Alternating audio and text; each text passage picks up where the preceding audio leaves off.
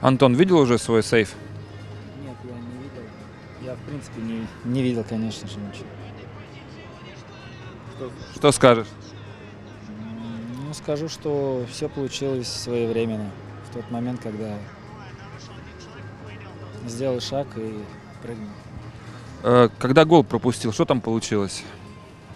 Ну, мне кажется, что это заготовка домашняя сборной Турции, потому что они неоднократно давали пас на дальнюю, и игрок э, подключался, стараясь прострелить этот мяч. Несколько таких ситуаций было. Э, Ну вот, получился гол. Прострелил, и там уже два игрока набегали, уже в пустые ворот фактически били. Ты расстроен результатом, я смотрю, да? Я, наверное, чуть устал просто. а, И физически, и эмоционально. В общем, э, небольшое опустошение, но завтра надо выспаться, и завтра все будет хорошо. Наконец-то уже болельщики стали приходить э, на трибуну. Добавляет какой там сил?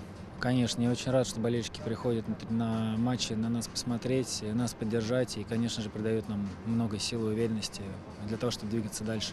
Уже в курсе, что Венгрия в гостях выиграла у Сербии 1-0? Теперь наш главный преследователь.